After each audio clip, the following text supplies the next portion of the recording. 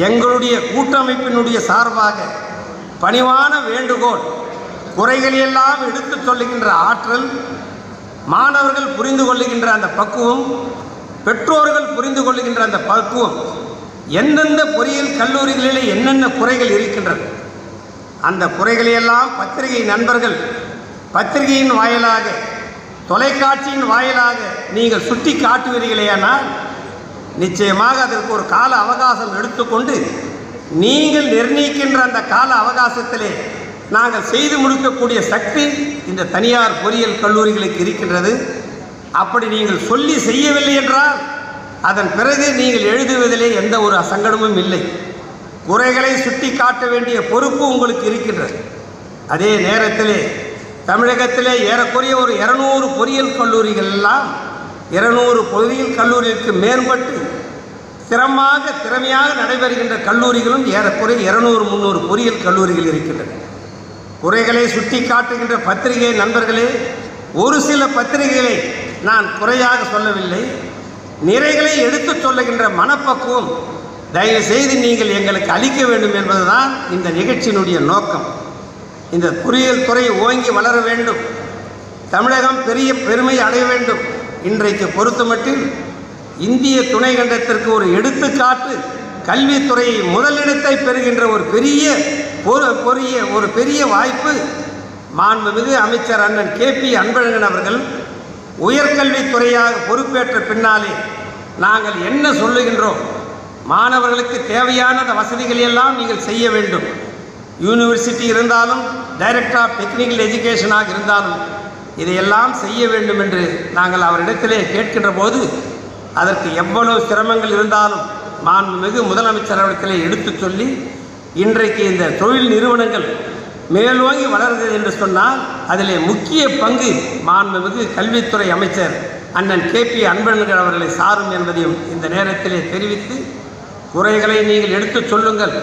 அதே நேரத்திலே நிறைகளையும் எடுத்துச் சொல்ல வேண்டிய ஒரு பொறுப்பு எனது அருமைக்குரிய எனது அன்பு சகோதரர்கள் அத்தனை பேருக்கு இருக்கின்றது என்பதை மட்டும் இந்த நேரத்திலே தெரிவித்து ஏதாவது தவறாக நான் பேசியிருந்தாலும் கூட உங்களுடைய குடும்பத்திலே நான் ஒரு சகோதரராக பேசினேன் என்பதை நீங்கள் எடுத்துக்கொண்டு இந்த துறை வளருவதற்கு நீங்கள்தான் முக்கிய பங்கு பெற வேண்டும் என்று உங்களை அன்போடு கேட்டு இந்த நிகழ்ச்சிக்கு வருகிறந்திருக்கின்ற அத்துணை மாணவ செல்வங்களும் நல்ல கல்வியை பெற்று நல்ல வேலைவாய்ப்பை பெற்று உங்களுடைய குடும்பத்திற்கு மட்டுமல்லாமல் இந்த ஒரு சில இரண்டு மூன்று ஆண்டுகளாக பொறியியல் மாணவர்களுக்கு வேலை வாய்ப்பு இல்லை என்பதை தார் தேவையில்லாமல் ஒரு பிறப்பகண்டாவை பரப்பிக் கொண்டிருக்கின்றார்கள்.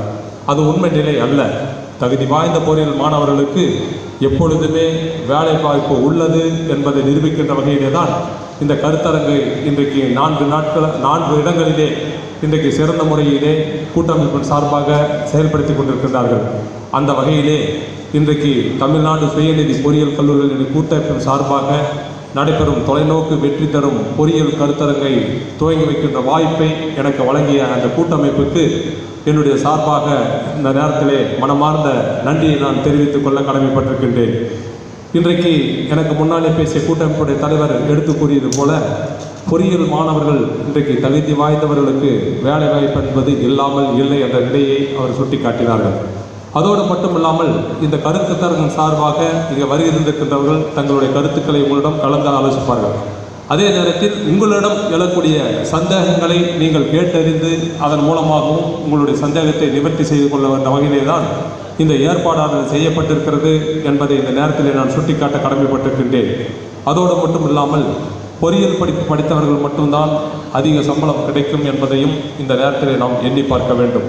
காரணம் என்னவென்றால் இன்றைக்கு வேலைவாய்ப்பை வழங்குகின்ற வகையிலே இன்றைக்கு பல வகை தொழில்நுட்ப கல்லூரி படிக்கின்ற மாணாக்கர்களுக்கு குறைந்த சம்பளத்திலே அங்கே வேலையிலே அமர்த்துகின்ற நிலை பல்வேறு கம்பெனிகளில் இருக்கிறது.